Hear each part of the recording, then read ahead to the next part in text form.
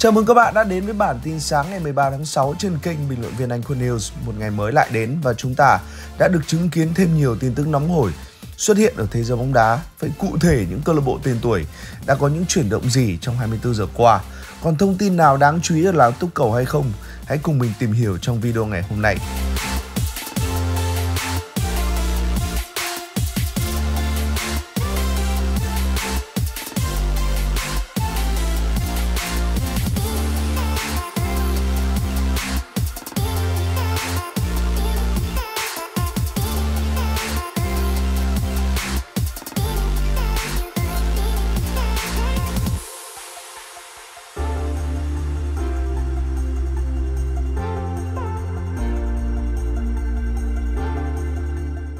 Dù cho các câu lạc bộ vừa hoàn thành tất cả những cuộc đấu mùa giải cũ, nhưng người hâm mộ cũng không phải sợ lâm vào cảnh đói bóng đá.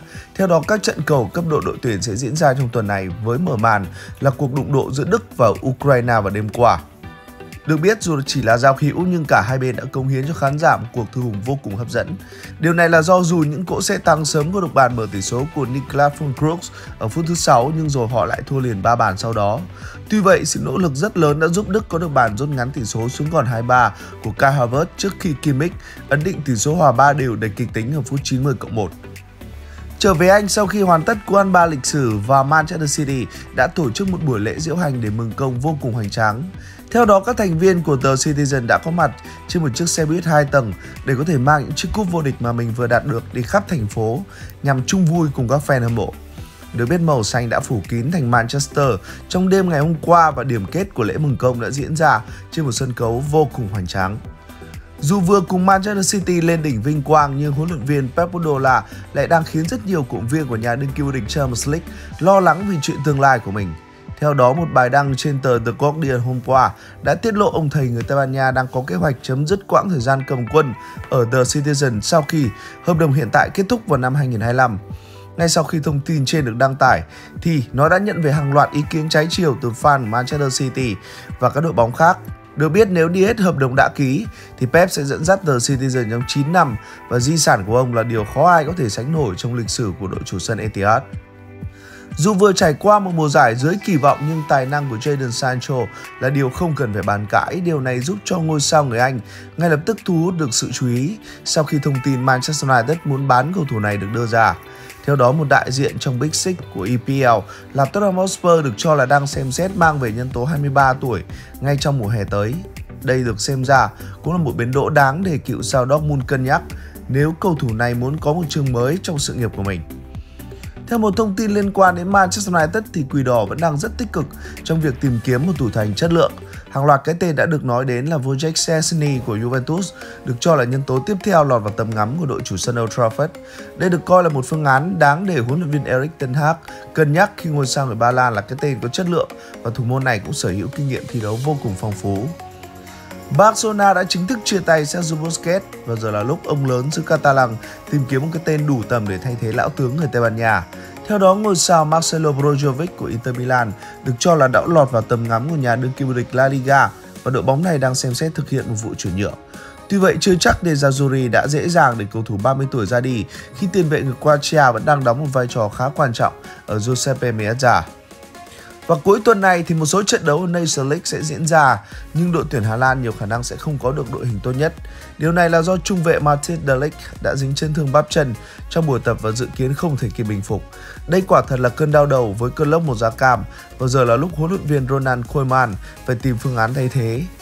Thêm một thông tin liên quan đến sự vắng mặt của một ngôi sao trong loạt trận quốc tế sắp tới thì Jude Bellingham được xác nhận sẽ không thi đấu hai trận đấu tiếp theo tại vòng loại Euro 2024. Được biết, cầu thủ 19 tuổi sẽ dành thời gian ở trung tâm huấn luyện để tiếp tục hồi phục chức năng và huấn luyện viên Gareth Southgate đang tính đến các phương án thay thế thích hợp cho Tam Sử. Là một trong những người đại diện quyền lực nhất của thế giới bóng đá nên George Mendes đang cực kỳ bận rộn trong mùa hè. Theo đó, nhà môi giới 57 tuổi được cho là đã lên lịch làm việc cùng Barcelona để bàn về rất nhiều vấn đề. Được biết, trọng tâm của cuộc thảo luận sắp tới sẽ là tương lai của Ansu Fati và việc xem xét ký hợp đồng với Ruben Neves. Bên cạnh đó thì triển vọng chiêu mộ Bernardo Silva cùng việc gia hạn với Bande và Lamin Jamo cũng là những chủ đề sắp được đưa ra bàn luận. Mặc dù sở hữu tiềm năng rất lớn nhưng các vấn đề về thể trạng đã khiến Emil Smith Rowe không duy trì được đà thăng tiến như kỳ vọng. Việc này làm dấy lên những nghi ngờ về tương lai của ngôi sao người Anh ở Arsenal khi một số fan cho rằng đội chủ sân Emirates nên chia tay nhân tố 22 tuổi ngay trong hè này.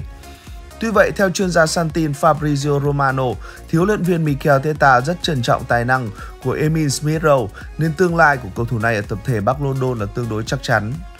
Mùa giải cũ đã khép lại và giờ là lúc Real Madrid thực hiện một vài sự điều chỉnh về chủ nhân của những số áo trong đội. Theo đó, trong thời gian tới thì Rodrigo sẽ tiếp quản chiếc áo số 11 trong khi cạ cứng của cầu thủ này là Vinicius được chọn trở thành số 7 mới của sân Bernabeu. Đây đều là những con số gắn liền với các cầu thủ có nhiều thành công trong quá khứ và người hâm mộ kền kền trắng cũng đang mong điều tương tự cũng sẽ đến với bộ đôi kể trên. Dù vẫn đang sở hữu một lực lượng cực kỳ dồi dào, nhưng Manchester City nhiều khả năng vẫn sẽ bạo chi trong hè này. Theo chuyên gia Santin Fabrizio Romano, đội chủ sân Etihad đang coi ngôi sao Josko Vadion của Leipzig là mục tiêu hàng đầu. Được biết, các cuộc tiếp xúc giữa ông lớn nước Anh và ekip của hậu vệ người Croatia đã có từ năm ngoái nhưng mức phí khổng lồ của cầu thủ này sẽ là thứ khiến nhà đương kim vô địch Champions League phải cân nhắc. Thế giới bóng đá vừa đón nhận tin buồn khi cựu chủ tịch Silvio Berlusconi của AC Milan mới qua đời và hàng loạt hành động tri ân đã được diễn ra. Nổi bật trong số đó là lời nhắn huấn luyện viên Carlo Ancelotti khi ông thầy 64 tuổi đã gửi những dòng đầy xúc động đối với người từng đứng đầu Rossoneri qua bài đăng. Nỗi buồn ngày hôm nay không xóa được những phút giây hạnh phúc bên nhau trong quá khứ. Tôi vẫn còn lòng biết ơn vô hạn đối với chủ tịch. Nhưng trên hết, ông là một người thông minh, chân thành và cũng là nền tảng trong cuộc phiêu lưu của tôi với tư cách làm cầu thủ cũng như sau đó là huấn luyện viên. Cảm ơn chủ tịch. Dù cho liên tục xuất hiện trong những tin đồn chuyển nhượng nhưng cho đến nay, Manchester United vẫn chưa nổ bom tấn nào phiên chợ hè.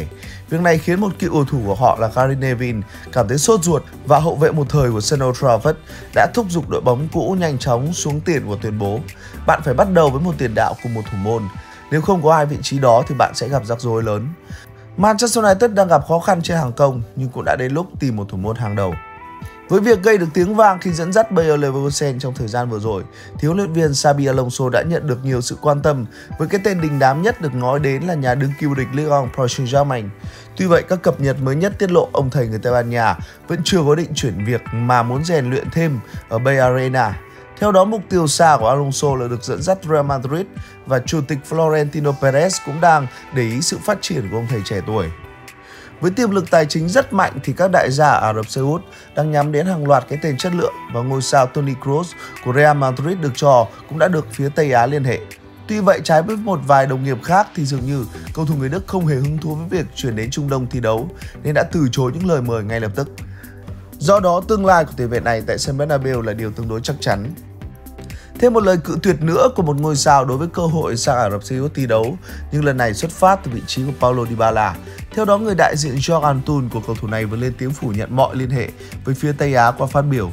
Paulo không nói chuyện với bất kỳ ai và tôi không nhận được bất kỳ cuộc gọi hay lời đề nghị nào từ các câu lạc bộ Ả Rập. Tôi chịu trách nhiệm lắng nghe các đội bóng quan tâm đến Dybala và cầu thủ này vẫn đang trong kỳ nghỉ.